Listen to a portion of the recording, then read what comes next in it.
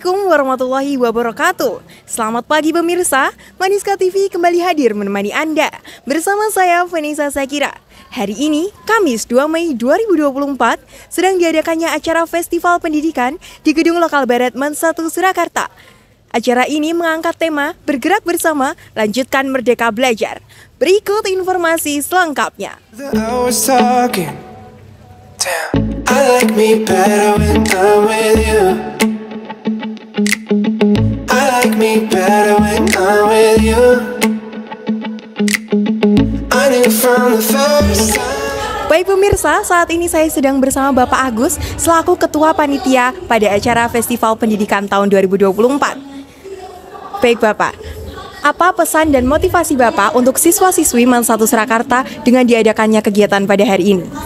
Ya, terima kasih Maneska TV. Tentunya yang pertama dengan diadakannya lomba fashion show dengan baju adat dari beraneka ragam daerah di Indonesia tentunya kami berharap bahwa siswa-siswi Man 1 Surakarta itu lebih mencintai Indonesia yang berbineka tunggal ika.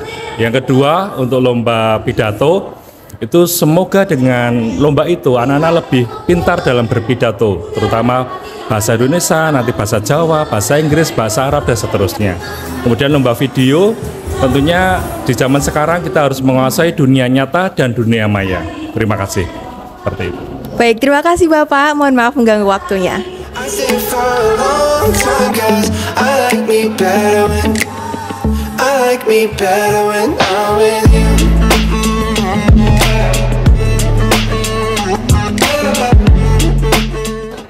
Baik pemirsa, saat ini saya sedang bersama Bu Ana, selaku salah satu juri pada lomba hari ini.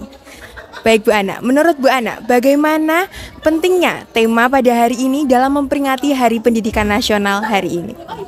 Untuk tema hari ini adalah bergerak bersama menuju Merdeka, Merdeka belajar. Artinya apa? Bahwa mulai saat ini anak-anak sudah diberikan fasilitas media di dalam pembelajaran sehingga anak-anak dengan merdeka. Merdeka itu bukan berarti merdeka semuanya tetapi merdeka itu meliputi. Dia bisa mengekspresikan dirinya kemudian menunjukkan optimalisasi dirinya kemudian dia sudah punya wadah atau ajang untuk e, mengaktualisasikan diri potensinya. Seperti di e, kalau di kurikulum merdeka di project ya ya itu di event project untuk uh, Merdeka Belajar itu memang salah satu biar anak lebih kreatif, lebih inovatif, kemudian dia mampu untuk uh, saling bersaing, saling kompetisi, tetapi di dalam hal yang positif sesuai dengan kemampuannya.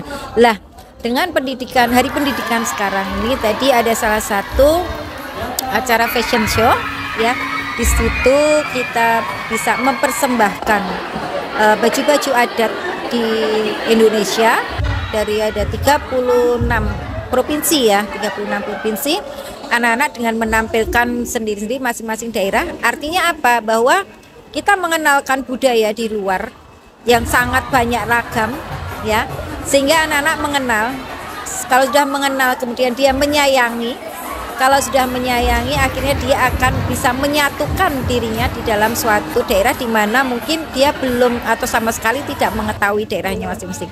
Nah itu nanti bisa ke depannya lebih kita mempelajari lagi budaya-budaya di luar. Itu penting sekali karena memang di Indonesia kan banyak budaya ya kemudian banyak baju-baju adat ya sehingga di sekolah kita meskipun di sekolah kita adalah majemuk berbasis Islam tetapi anak-anaknya tidak akan ada istilahnya apa ya saling uh, memisahkan ya diri dengan yang lain di mana kebenekaan tunggal ika itu poin utama berbeda-beda tetapi tetap satu yaitu Indonesia. Nah ini nanti pembelajarannya bisa ke depannya lagi di mana kalian nanti mendapatkan uh, situasi atau kebudayaan berbeda kalian sudah menerima dan bisa saling toleransi, saling mengisi, saling kerjasama dan di situ akan membentuk suatu kerukunan yang nanti akan membuat kita damai.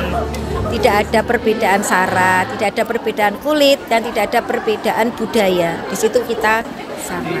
Itulah pentingnya kenapa mulai sekarang anak-anak harus mempelajari budaya-budaya di luar yang notabene memang budaya Indonesia ya, bukan budaya luar negeri, tapi lebih khusus ke budaya Indonesia karena biar anak-anak itu uh, mengenal budaya kita yang kaya budaya, menyayangi budaya kita dan kalau bisa nanti di ajang sampai internasional bisa membawa nama baik uh, apa bangsa Indonesia di ajang-ajang internasional budaya-budaya itu nanti bisa bersaing. Begitu. Baik, baik terima kasih Bu Ana, mohon maaf mengganggu waktunya. Assalamualaikum.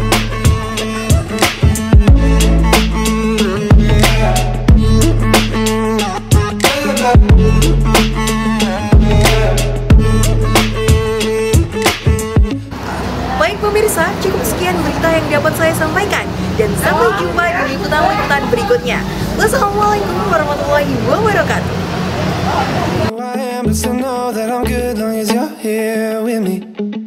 To be drunk and in love in New York City. Midnight into morning coffee. Burning through the hours talking. Damn I like me better when I'm with you